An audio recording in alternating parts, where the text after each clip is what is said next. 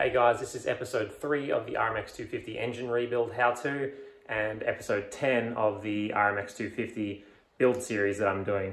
I finally got the cylinder back from the replaters. Let's get straight into it and finish this engine. First thing we're going to do now that we've got the cylinder back in our possession is clean it really well. Uh, they recommend to clean it with soapy water and to get a microfiber cloth and wipe out the inside of the cylinder with some degreaser. You'd be surprised how dirty these things are, even though they look really clean. And before we install the piston, we're gonna use it as a tool to check the ring end gap, and I'll show you how I'm gonna do that now.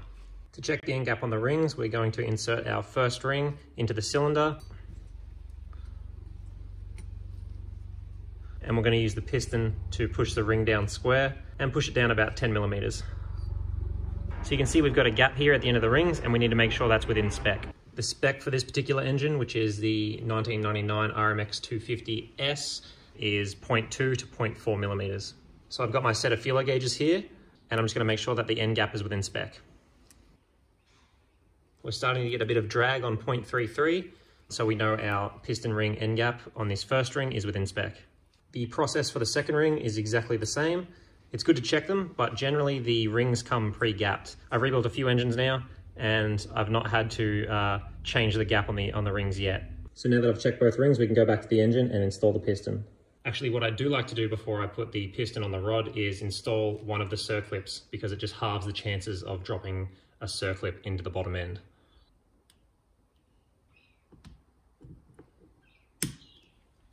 So you can see I've scratched that coating the tiniest little bit. It's very thin and very easy to scratch. It's just a Teflon coating that wears away within the first few rides anyway. It just helps with the piston break-in.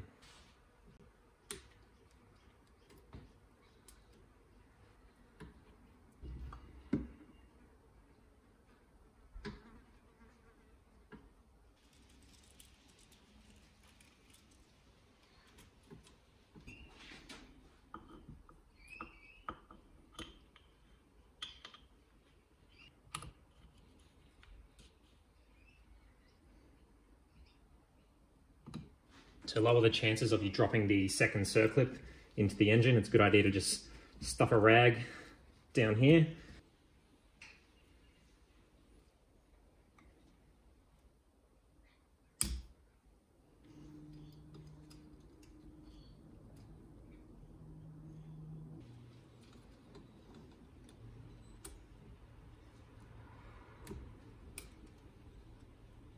So the piston is installed on the rod and the rings installed on the piston. Just make sure that the open end lines up with those pins that are located in a two-stroke piston. Uh, you can see there, it stops the rings from spinning while the engine's in operation. Also, as the cylinder goes on, you need to make sure that these rings aren't getting caught on top of that pin. Both numbers facing up, good to go. When I took the cylinder to the replaters, I didn't remove the uh, head studs and I guess they needed them removed, so they did it, but they didn't put them back in. So I'm gonna show you how to put your head studs back in or replace them. The same way I put them in is gonna be the same way you can take them out. First, I'm gonna put anti-seize on all these studs and the side that goes into the cylinder is the side that has the flat top on it. The more rounded side faces up and that goes towards the cylinder head.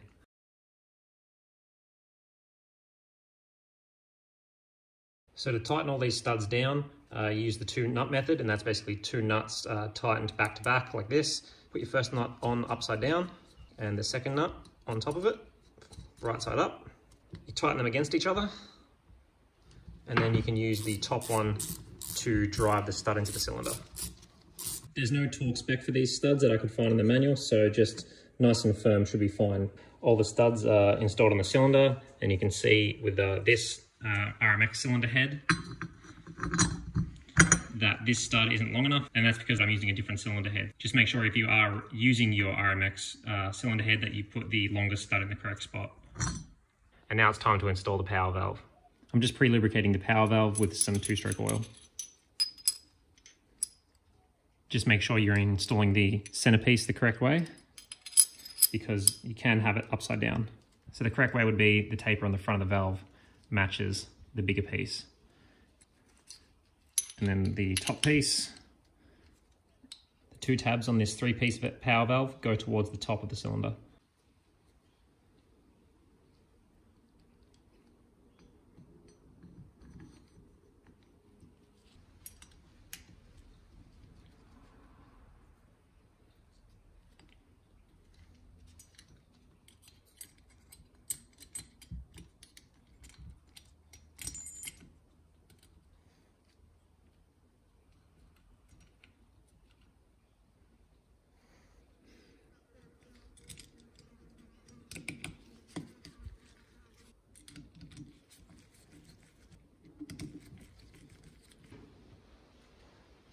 There's no torque spec for these three screws and there is also no Loctite spec for these. So just nice and firmly done up is probably fine.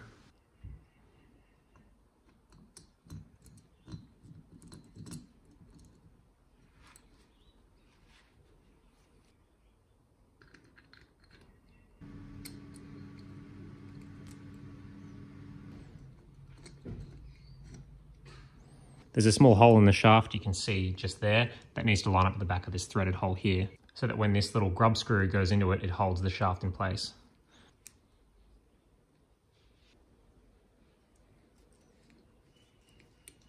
The torque spec for this little grub screw is 10 newton meters.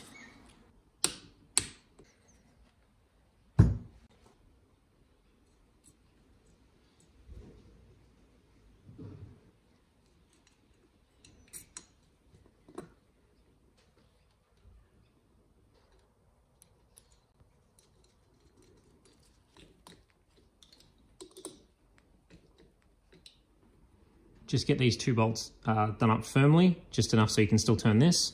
And the stock spec for the power valve tensioner spring is half a turn.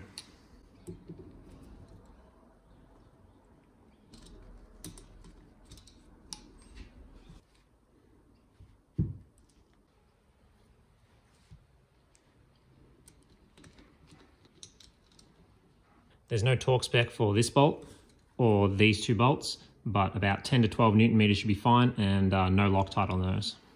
I'm going to coat the inside of the cylinder and the piston with some two-stroke oil before I install the cylinder.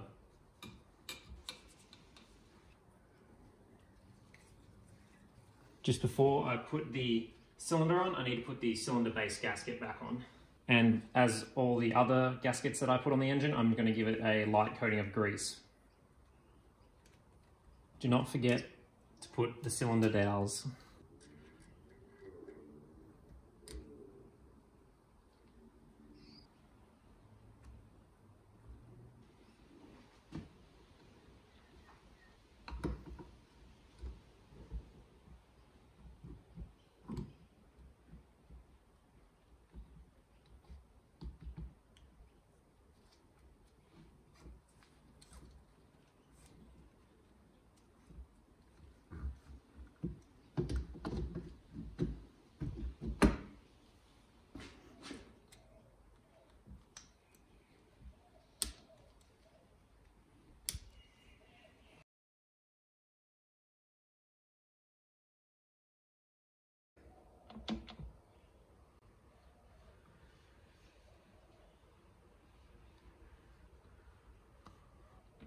The cylinder is on, the power valve actuator rod is connected, and the cylinder nuts are all torqued down to uh, 38 newton meters.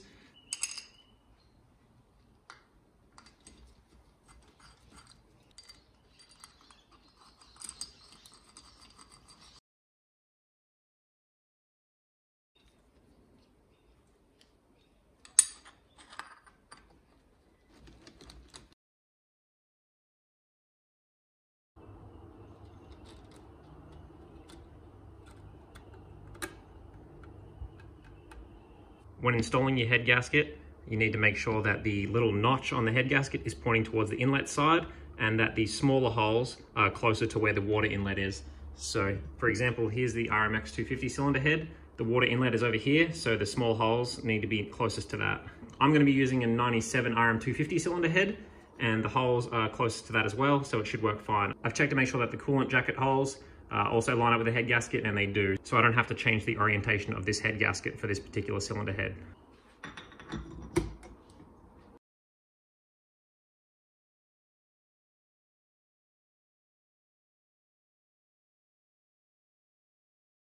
The torque for the cylinder head nuts is 28 Newton meters. And with that, this engine is fully complete. Thanks to everybody who stuck around for this mini series, which is the engine rebuild within the big series, which is the whole bike rebuild.